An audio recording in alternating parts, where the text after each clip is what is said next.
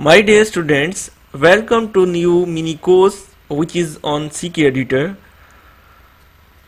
My dear students, what is the CK Editor and why we use it in websites?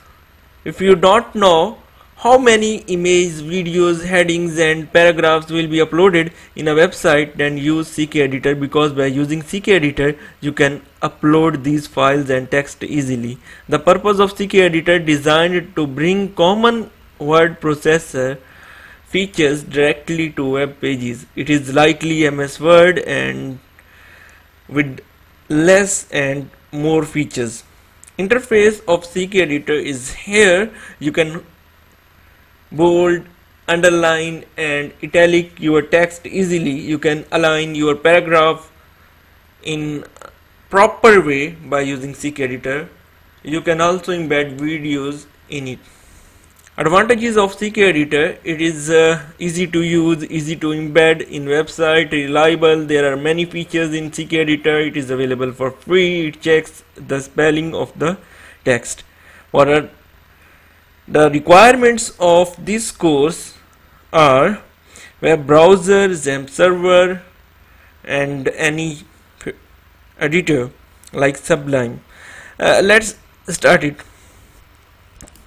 Click here, open this website ckeditor.com click here download then download the full package after this open this website getbootstrap.com and download the bootstrap files.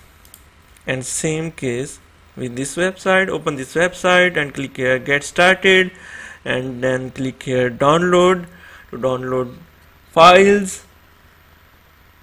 Now I have already download all the files. Okay extract these files and change the path. Extract. Okay create a new folder with the name boot. Strap. Okay. Move file in it extract files and change the path CK editor.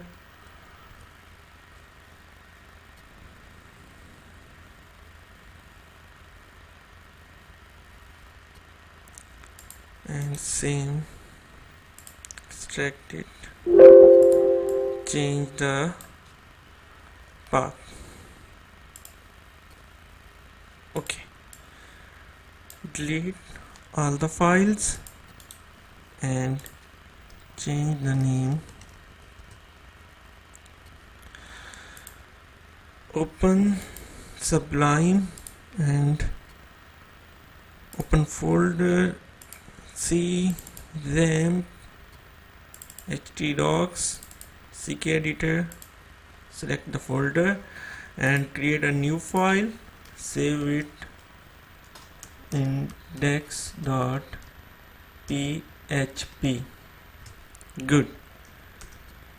Html change the uh, title name of the website with CK editor.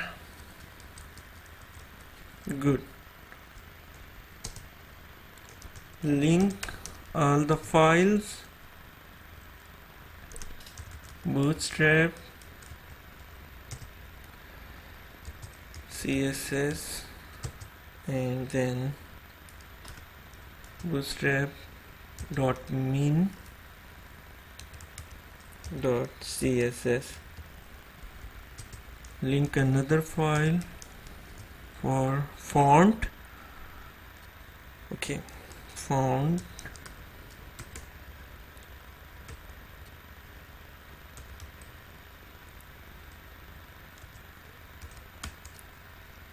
Hmm. And css font with min dot css now script and embed CK editor.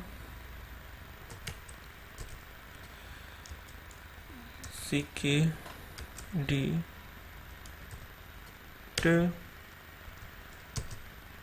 CK D editor CK editor dot js create a form. Action. And method is post. And then in type is multi part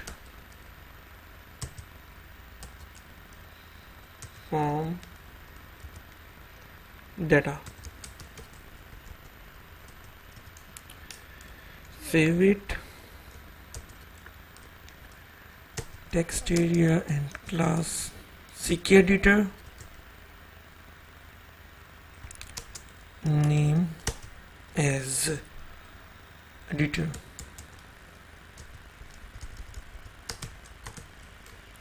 save it. Start apache server and mysql okay. Now open localhost CK editor